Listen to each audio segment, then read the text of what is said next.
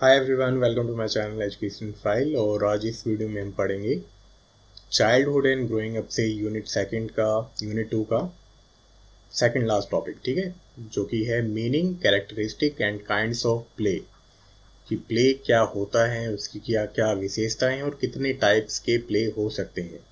Then हमें पढ़ना है कि प्ले एंड इट्स फ़ंक्शन और उसका लिंकेज क्या है? Physical social emotional and cognitive development के साथ। ठीक है? तो थोड़ा लेंथी सा टॉपिक होने वाला है ये और आपके पास पंद्रह बीस मिनट का टाइम हो तो आप आराम से ये वीडियो देख लो, ठीक है? तो जल्दी से पढ़ते हैं इसके बारे में। और वीडियो अच्छा लगे तो आप लाइक कर सकते हो, हालाँकि आप करते नहीं हो कोई भी। चलो तो सिंपली देखो मीनिंग ऑफ़ प्ले बताना सबसे पहले कि प्ले होता क्या है? तो प्ले को डिफाइन किया गया है बहुत अलग अलग तरीके से भी। जिसका जैसा पर्सपेक्टिव था जिस भी साइकोलॉजिस्ट का जैसा पर्सपेक्टिव था, उसने प्ले को अलग अलग वे से डिफाइन कर रखा है। लेकिन हम कह सकते हैं कि प्ले क्या है? एज ए मीडियम और एनी एक्टिविटी जिसके ज़रिए जो चिल्ड्रन है, जो बच्चे हैं, वो एक्सप्लोर करते हैं, अपने वर्ल्ड को और इन्जॉय करते हैं, ठीक है? तो आप कह सकते हो कि प्ले एक ऐसा माध्यम है, ऐसी गतिविधि है मतलब मीडियम या एक्टिविटी है, जिसके ज़रिए जो बच्चा है, वो दुनिया को एक्सप्लोर करता है, खेल कूद में ही प्ले वे मेथड में, ठीक है? और साथ के साथ वो इंजॉय भी करता है। तो इन जो, इन एक्टिविटीज़ को, इन मीडियम्स को कहते हैं प्ले अभी हम अगले स्लाइड पे पढ़ेंगे और डेफिनेशन प्ले की तो आपको और ज़्यादा क्लियर हो जाएगा। प्ले में बेसिकली होता क्या है? बच्चे एक्टिविटीज़ करते हैं फन के लिए, मज़े लेने के लिए या सेल्फ प्लेजर के लिए, ठीक है? कि उनको अच्छा लगे, उनको प्लेजर मिले। और क्या होता है, ये जो सारी एक्टिविटीज़ हैं, इनमें social behavioural and cognitive rewards जुड़े हुए होते हैं, ठीक है? अगर हम कोई खेल कूद कर रहे हैं, कोई फन के लिए कोई एक्टिविटी कर रहे हैं मतलब ये बच्चों के बारे में, लेकिन कोई भी इंडिविजुअल अगर कुछ कर रहा है, कोई प्ले कर रहा है, कोई इंजॉयमेंट के लिए एक्टिविटी कर रहा है तो उसको कॉग्नेटिव कॉग्नेटिव रिवॉर्ड मिलेगा, है ना? उसको अच्छा लगेगा खेल कूद के या जो भी प्ले वो कर रहा है, कोई भी फन एक्टिविटी कर रहा है। उसको बिहेवियर के तौर पे भी अच्छा लगेगा और उसको सोसाइटी में एक प्रॉपर अच्छे वे से देखा भी जाएगा। ठीक है?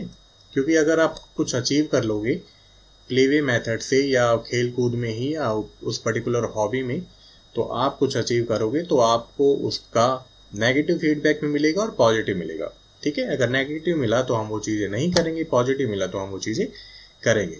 तो इसीलिए social behavioural and cognitive rewards जुड़े हुए हैं और साथ के साथ फ़िज़िकल एंड इमोशनल रिवॉर्ड्स भी जुड़े हुए हैं, ठीक है?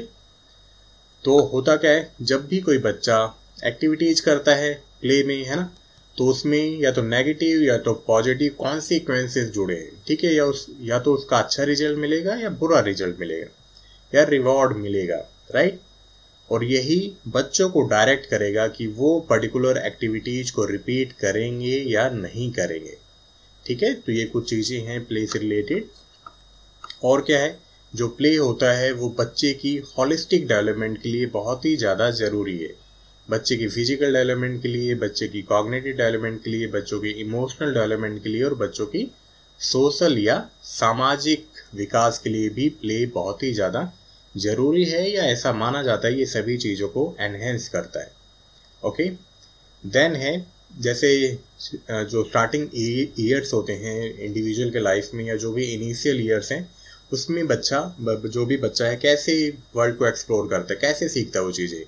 तो जो भी बच्चा होता है, जो, जब हम छोटे होते हैं तो हम प्ले वे मैथड के ज़रिए ही अपने आसपास की दुनिया को एक्सप्लोर करते हैं, खेल कूद में ही पढ़ाई करते हैं। इसीलिए जो N C F two thousand five था, उसमें रविन्द्रनाथ टैगोर जी की लाइन ली गई थी ना, कि लर्निंग विद फन कि किस तरह से बच्चे खेल कूद में सीखते हैं। चलो देन कुछ अलग डेफिनेशन हैं, या जो भी डिक्शनरी डिक्शनरीज में है ऑक्सफोर्ड ने कैसे डिफाइन किया है? To do something to enjoy yourself to have fun ठीक है? कैम्ब्रिज ने कहा कि when you play specially as a child you spend time doing an enjoyable और एंटरटेनिंग एक्टिविटी कि अब जब आप कोई कोई इंडिविजुअल या खासकर कोई बच्चा प्ले कर रहा है तो इट्स मीन कि वो इंजॉय कर रहा है एंटरटेनिंग एक्टिविटीज़ कर रहा है। ब्रिटानिका ने कहा कि to do activities for fun और इंजॉयमेंट ठीक है? मस्ती के लिए, मौज मस्ती के लिए एक्टिविटीज़ की जा रही है। प्याजे ने क्या कहा? कि play was a means by which children could develop and refine concept ठीक है? कि वो जो भी कॉन्सेप्ट है उसको डेवलप भी करेगा, उसका विकास भी करेगा और टाइम के साथ उसको रिफाइन भी करेगा, ठीक है? कब तक? जब तक उसमें और ज़्यादा एब्स्ट्रैक्ट एबिलिटी नहीं आ जाती है। और बच्चा प्ले वे मेथड के साथ प्ले के साथ और ज़्यादा चीज़ें सीखता रहेगा, ठीक है? तो ये कुछ डेफिनेशन हैं, इनको भी लिख देना। चलो देन आते हैं कैरेक्टरिस्टिक के बारे में। विशेषताएँ क्या क्या हैं प्ले की? तो सबसे पहले क्या है कि प्ले इंट्रेंसिक मोटिवेशन पे बेस है। हमारे अंदर से ही एक मोटिवेशन आता है जो कि हमें प्रेरित करता है प्ले करने के लिए मतलब खेल कूद के लिए, कोई भी ऐसी एक्टिविटीज़ करने के लिए जिसमें हमें मज़ा आ रहा है, ठीक है? और ये हमारे इंटरेस्ट के बेस पे ही है। तो पहला पहली कैरेक्टरिस्टिक ये है और बहुत सारी कैरेक्टरिस्टिक है। आपके मन में जो भी आए ना तो प्लीज़ आप लिख देना। यहाँ से एक आइडिया ले लो। देन क्या है? प्ले डिपेंड करता है प्रोसेस पे, है ना? प्रोडक्ट पे उतना ज़्यादा डिपेंड नहीं करता है। क्यों नहीं करता है? क्योंकि हम चीज़ें फन के लिए कर रहे हैं। तो हमें मज़ा आना चाहिए उन पर्टिकुलर एक्टिविटीज़ में।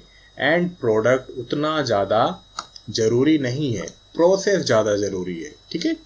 तो प्ले डिपेंड करते हैं प्रोसेस पे। देन है प्ले के ज़रिए हम इमोशनल इंटेलिजेंस आती है, ये इमोशनल डेवलपमेंट होता है हमारा तो हम टाइम के साथ प्ले के ज़रिए स्ट्रेस को एंजाइटी को भी ट्रीट करना सीख जाते हैं। कैसे? क्योंकि हम कुछ देर के लिए तो वो चीज़ें भूल ही जाते हैं जब हम किसी भी प्ले में इन्वॉल्व रहते हैं। ठीक है? मैं हो सकता है इंडिविजुअल को लेके चलूँ, लेकिन चिल्ड्रन के बारे में पूछा है तो आप चिल्ड्रन का ही एग्ज़ाम्पल देना, ठीक है? प्ले क्या है इंजॉयमेंट के लिए बहुत ही ज़्यादा अच्छा है। हम सभी चीज़ें भूल जाते हैं और उसमें फिर फ़िज़िकल तौर पे सोशल तौर पे उसमें इन्वॉल्व हो जाते हैं। ठीक है? इंट्रैक्शन इंक्रीज करता है, ये भी एक करेक्टरिस्टिक है। आपस में बातें करते हैं सोशल डेवलपमेंट भी होता है हमारा। कॉन्फिडेंस बढ़ाता है। क्यों बढ़ाता है? क्योंकि जब हम प्ले करते हैं या किसी और के साथ खेलते हैं तो हम और ज़्यादा अपने आप को एक्सप्रेस कर जा, कर पाते हैं। ठीक है?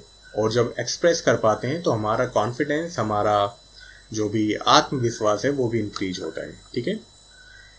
फ़िज़िकल तौर पे भी हम ग्रो करते हैं तो हमारा स्टेमिना स्ट्रेंथ कोऑर्डिनेशन भी बढ़ता है, ठीक है? इसको अभी हम लास्ट की स्लाइड्स में और ज़्यादा अच्छी तरीके से पढ़ेंगे। यहाँ पे हमें ओवरऑल बताना है कैरेक्टरिस्टिक क्या है प्ले की। सोशल इंट्रैक्शन बढ़ाता है एक्सप्रेशंस इमोशंस जो है हमारे, उसको भी एक्सप्रेस करने में हेल्प करता है। और एक सेल्फ डिसिप्लिन भी लाता है। क्यों? क्योंकि गेम्स में या प्ले में रूल्स होते हैं और उन रूल्स को मानना पड़ता है ताकि आप सोसाइटी के तौर पे मतलब अपने ग्रुप के अकॉर्डिंग खेल खेल सको। ठीक है? प्ले होलिस्टिक डेवलपमेंट करता है। ठीक है? Physical cognitive emotional and social wellbeing बनने में या बनाने में हमारी बहुत ज़्यादा मदद करता है। तो ये कुछ कैरेक्टरिस्टिक हैं, विशेषताएँ हैं, लेकिन अगर आपके माइंड में कुछ और भी आ रहा है तो प्लीज़ इसको लिख देना। चलो देन टाइप्स क्या क्या हैं प्ले की? तो यहाँ पे कुछ टाइप डिस्कस करते हैं। पहला है constructive play constructive play based है प्याजे एंड सारा स्माइलेंस्की के प्रिंसिपल्स पे, सिद्धांत पे या थ्योरीज पे। इसमें बच्चा कुछ क्रिएट करता है कंस्ट्रक्ट करता है या चीज़ों को मैनिपुलेट करना सीखता है। जैसे कि ब्लॉक्स के साथ सीखना, है ना, उसमें बिल्डिंग्स बनाते हैं या कोई कार वगैरह बनाते हैं, देन है फ़िज़िकल प्ले फ़िज़िकल प्ले में डांसिंग हो सकती है है ना, या कोई गेम खेला जा सकता है। तो इससे क्या होगा? स्टेमिना और स्ट्रेंथ इंक्रीज होगा, है ना, हमारी मसल्स डेवलप होंगी। देन है sensory stimulating play third number पे। तो इसमें जो बच्चा होता है, वो इंजॉयमेंट प्लेजर प्लेजर महसूस करना चाहता है। और आपने देखा होगा, छोटा बच्चा क्या है, सभी चीज़ों को मुँह में ले लेता है। क्यों ले लेता है? क्योंकि उसको उससे प्लेजर मिलता है इंजॉयमेंट मिलता है। और इसी दौरान वो सीख लेता है कि कौन सी चीज़ों को माउथ में डालना चाहिए और किसको नहीं डालना चाहिए। ठीक है? तो यहाँ पे क्या है सेंसरी स्टिमुलेटिंग प्ले कि जिस चीज़ से हमें, जिस सेंस से, जिस सेंसरी इनपुट से हमें प्लेजर मिल रहा है, वही चीज़ें हम करते हैं। ठीक है? और ये एज के अकॉर्डिंग भी होती है। अगर क्वेश्चन में एज के अकॉर्डिंग भी पूछा जाए तो प्लीज़ इनको एज के अकॉर्डिंग भी लिख लेना, है ना? बड़े होने पे हम क्यों गेम खेलते हैं? क्योंकि हमें सेटिस्फैक्शन मिलता है। देन है सोशल प्ले तो इसमें हम दूसरे प्लेयर्स के साथ, दूसरे लोगों के साथ इन्वॉल्व होते हैं और ग्रुप में खेल खेलना स्टार्ट करते हैं। वहाँ पे फिर रूल्स भी होते हैं और बहुत सारी चीज़ें होती हैं और वो सभी चीज़ें भी हम सीखते हैं। फिफ्थ नंबर पे है फैंटेसी प्ले। फैंटेसी में क्या है? इमेजिनेशन है है ना? इसको आप कह सकते हो इमेजिनेटिव प्ले भी। तो इसमें जैसे कई डॉक्टर बन जाते हैं ना? फायरमैन बन जाते हैं आर्मी मैन बन जाते हैं कि गन लेके हम, है ना? हम फौजी हैं और हम दुश्मनों को मारेंगे। तो ये भी क्या एक तरह का प्ले है। इसमें हम फैंटेसाइज करते हैं छोटे पे जब हम होते हैं। तो इससे हमें, हमारी कॉग्निटिव एबिलिटीज और ज़्यादा एनहेंस होती है और ज़्यादा डेवलप होती है। चलो देन है सिक्स नंबर पे क्रिएटिव प्ले क्रिएटिव का मतलब है अपनी डाइवर्जेंट थिंकिंग को यूज़ करना, कुछ ऐसा बनाना जो कि पहले हमने ना बनाया हो. क्रिएटिव वर्क का मतलब ही यही है कि जो हमने पहले क्रिएट ना करा हो. ठीक है? तो इसमें बच्चा कुछ क्रिएट करता है ड्राइंग करता है या कोई नई चीज़ बनाता है, पुरानी चीज़ों को यूज़ करके या जो भी उसके पास चीज़ें अवेलेबल है. देन है गेम्स विद रूल्स तो जिन गेम्स में, जिन प्ले में रूल्स होते हैं, उनसे बच्चा क्या सीखता है? वैल्यूज़ सीखता है ना? एथिक्स सीखता है और कैसे फेयरनेस गेम में लाई जाए, उन चीज़ों को भी सीखता है। जैसे हाइड एंड सीख होता था हिंदी में, जिसको छुपम छुपाई कहते थे तो ये होता था ना कि घर के अंदर कोई नहीं छुपेगा, है ना? या छत पे कोई नहीं छुपेगा, आपको सीढ़ियों के नीचे या पेड़ के पीछे ही छुपना है। मतलब रूल्स होते थे, ठीक है? और हॉप स्कॉच जिसको इंडिया में स्टापू या हिंदी में स्टापू कहते हैं तो हमारे जो स्टापू होते थे तो उसमें नाइन और टेन नहीं होता था सेवन एट होते थे, और इसका जो साइज़ होता था, वो इस ढंग से होता था, है ना? कि एक, दो, तीन और फिर चार, पाँच बीच में होता था, फिर आई थिंक बीच में ऐसे और फिर ऐसे होता था, है ना? तो इसमें भी रूल्स होते थे।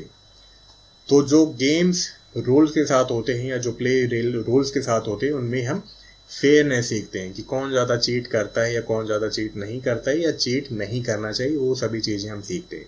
ठीक है? तो आप देख सकते हो कि प्ले बहुत ज़रूरी है सभी तरह की स्किल्स को डेवलप करने में, बच्चों में और एज ए इंडिविजुअल हम में भी। चलो देन क्या है? अब हमें बताना है प्ले एंड इट्स फ़ंक्शन इसका लिंकेज क्या है? Physical social emotional and cognitive function के साथ या डेवलपमेंट के साथ। तो हमने पढ़ा कि प्ले क्या है? हॉलिस्टिक डेवलपमेंट के लिए बहुत ही ज़्यादा ज़रूरी है और प्ले का physical social emotional and cognitive effect होता है और वो है इस तरह से, ठीक है? फ़िज़िकल डेवलपमेंट में क्या होता है? फ़िज़िकल डेवलपमेंट में उसकी भौतिक जो भी विकास है ना, उसके फ़िज़िकल ग्रोथ से रिलेट करता है ये। तो जब बच्चा प्ले करेगा इंजॉयमेंट एक्टिविटीज़ करेगा या कुछ भी करेगा तो क्या होगा? स्टेमिना एनहेंस होगा, उसकी मसल डेवलपमेंट होगी, है ना? उसकी ग्रोथ और fine motor skill growth motor skills होती हैं, ये सभी तरह की फाइन मोटर स्किल्स होती हैं, जिसमें हम अपनी छोटी फिंगर्स का, छोटी मसल्स का यूज़ करना सीख जाते हैं। ठीक है? उनको कहते हैं फाइन मोटर स्किल्स ग्रोथ में हम पूरी ओवरऑल बॉडी को कैसे यूज़ करते हैं, वो होती है।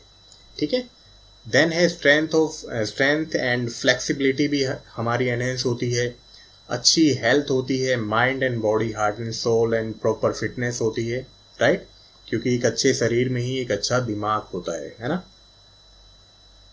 एक गुड बॉडी है, एक गुड माइंड आई थिंक ऐसे कुछ है ना प्रोवर्ब देन है, सभी सेंसेस का अच्छे से काम करना कब इम्पोर्टेंट है या कब वो अच्छे से होता है? जब हमारी हेल्थ अच्छी होती है, ठीक है? जब हम फिजिकली अच्छे होते हैं। जब हम फिजिकली अच्छे होंगे तो हमारी सभी तरह के सेंसेस भी बहुत अच्छे से काम करेंगी। बॉडी का कोऑर्डिनेशन अच्छा होता है पोस्चर प्रॉपर होता है और बैलेंस भी ठीक होता है, ठीक है? और ये सभी चीज़ें ज़रूरी हैं कि इंडिविजुअल की लाइफ में। देन है कॉग्निटिव डेवलपमेंट कैसे होता है? तो कॉग्निटिव का मतलब ही क्या है? इंटेलेक्चुअल डेवलपमेंट इंटेलिजेंस को और ज़्यादा एनहेंस करना, है ना? दिमाग को और ज़्यादा विकसित करना डेवलप करना। तो जब हम खेल खेलते हैं प्ले करते हैं, कोई भी एक्टिविटीज़ करते हैं तो हमें कॉन्सेप्ट्स पता चलते हैं अलग अलग गेम्स के, है ना? अलग अलग प्ले के कि किस तरह से पर्टिकुलर गेम काम करता है। प्ले से इमेजिनेशन आती है क्रिएटिविटी आती है है ना? कौन सी चीज़ें कहाँ पे यूज़ करनी है इमेजिनेशन कैसे करना है फैंटेसी कैसे करनी है, या फैंटिसाइज कैसे करना चीज़ों को? कंसंट्रेशन एनहेंस होता है है ना? क्रिएटिविटी एनहेंस होती है नॉलेज एनहेंस होती है पर्टिकुलर स्किल्स में पर्टिकुलर एक्टिविटीज़ में। लैंग्वेज एंड कम्युनिकेशन एनहेंस होता है क्योंकि हम सोशल तौर पे भी प्ले करते हैं, ठीक है? ये पॉइंट आप इसमें भी लिख सकते हो और सोशल वाले में भी लिख सकते हो सोशल डेवलपमेंट में। देन है प्रॉब्लम सॉल्विंग अप्रोच भी आती है है ना? कई बार गेम्स के ज़रिए प्ले के ज़रिए हम सीख जाते हैं कि पर्टिकुलर प्रॉब्लम को कैसे सॉल्व किया जाए, क्योंकि हम उस असली प्रॉब्लम को स्टिमुलेट कर देते हैं वर्चुअल प्रॉब्लम के साथ। वर्चुअल एनवायरनमेंट में कैसे रियल प्रॉब्लम्स को सॉर्ट आउट करना है, वो चीज़ें भी हम सीख जाते हैं थ्रू प्ले राइट मेमोरी को एनहेंस करता है और रिटेंशन को एनहेंस करता है। कैसे? क्योंकि अगर हम कोई पर्टिकुलर गेम खेल रहे हैं और उसमें पर्टिकुलर रूल्स हैं तो हम सीख जाते हैं कि कौन सा रूल्स कहाँ पे अप्लाई होगा, कैसे अप्लाई होगा, ठीक है? परसेप्शन जो भी दुनिया में चीज़ें हैं, उनके लिए परसेप्शन क्रिएट करने भी, करने में भी हेल्प करता है प्ले लैंग्वेज स्किल्स को एक्वायर करने में और ज़्यादा मदद करता है हमारी। ठीक है? तो ये कुछ पॉइंट है। आपके मन में जो भी आए प्लीज़ लिख देना उनको। देन है सोशल डेवलपमेंट थ्रू प्ले तो सोशल डेवलपमेंट कैसे होता है? सोशल नॉर्म्स रूल्स और वैल्यूज़ सीखते हैं अपने पर्टिकुलर ग्रुप के अकॉर्डिंग है ना? जब भी हम प्ले करते हैं। कोऑपरेशन एनहेंस होता है इंट्रैक्शन एनहेंस होता है। कन्फ्लिक्ट भी होते हैं। देखो जब साथ में हम खेलते हैं तो कन्फ्लिक्ट भी आते हैं, लेकिन हम उन कन्फ्लिक्ट्स को सॉर्ट आउट करना सीख जाते हैं, ठीक है? तो ग्रुप में खेलने का मकसद ये भी है। और ग्रुप एक्टिविटीज़ को एनहेंस करना इसलिए भी ज़रूरी ताकि कन्फ्लिक्ट को डील करना भी हमें आए। लोगों को रिस्पेक्ट करना एम्पति दिखाना सिंपैथी दिखाना, ये भी चीज़ें ज़रूरी हैं इंडिविजुअल में और ये प्ले के ज़रिए बहुत ज़्यादा अच्छे ढंग से डेवलप की जा सकती हैं राइट हम ये भी सीखते हैं कि कब हमें लीड करना है और कब हमें फॉलो करना है, ठीक है? एक दूसरे को हेल्प करना भी सीखते हैं, ठीक है? प्ले के ज़रिए हम ये भी सीखते हैं ना कि किस तरह से एक दूसरे की हेल्प करनी है, किसी को प्रॉब्लम है तो उसको कैसे हेल्प करनी है। हम ग्रुप में ये भी सीखते हैं कि किस तरह से हमारे एक्सप्रेशंस को, हमारे जो भी भाव हैं, जो भी हमारे अंदर चीज़ें हैं इमोशंस हैं, इसको कैसे बाहर निकाला जाए, है ना?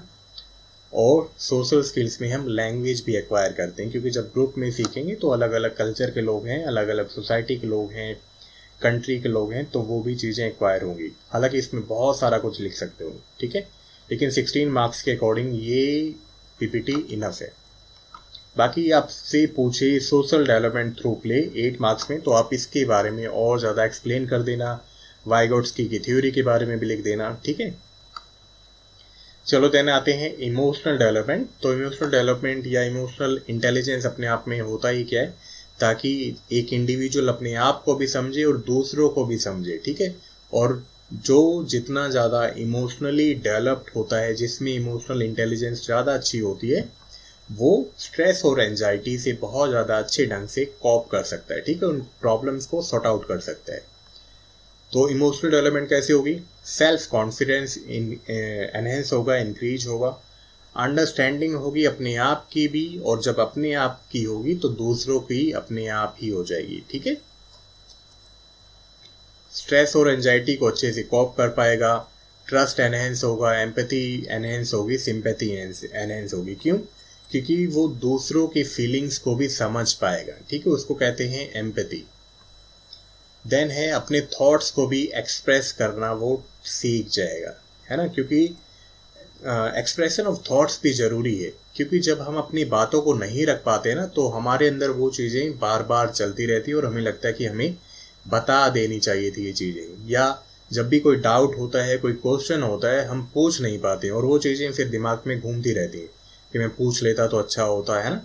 टीचर से पूछ लेता या अपने फ्रेंड से पूछ लेता तो जब इमोशनल इंटेलिजेंस होता है सोशल डेवलपमेंट अच्छे से होती है तो ये चीज़ें अपने आप बाहर निकल के आ जाती हैं। अगर कोई भी डाउट होता है तो वो अपने आप बच्चे पूछ लेते हैं प्ले के ज़रिए खेल कूद में, है ना? प्ले वे मेथड का यही बेनिफिट है।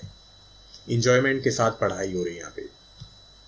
देन क्या है? सेल्फ कंट्रोल आ जाता है। डिफरेंट सिचुएशंस पे क्या करना चाहिए, वो बहुत ज़्यादा अच्छे से टेक्निक आ जाती है बाद में। देन है प्रॉब्लमेटिक सिचुएशन को कैसे टैकल किया जाए, ठीक है? कैसे उनसे, उनके साथ कॉप किया जाए, कैसे सॉर्ट आउट किया जाए प्रॉब्लम्स को, ये सभी चीज़ें बहुत ज़्यादा अच्छे ढंग से सीख सकते हैं प्ले से। तो प्ले वे मेथड बहुत ज़्यादा अच्छा है, या प्ले की अपने ही बेनिफिट हैं, ठीक है? तो आई होप आपको अच्छे से ये क्लियर हो गया होगा टॉपिक एंड आपको एग्ज़ाम में बेनिफिट होगा। तो इस वीडियो में इतना ही था, लेकिन आपकी कोई भी क्वेरी तो प्लीज़ आप पूछ लेना। तो मिलते हैं नेक्स्ट वीडियो में. Till then bye take care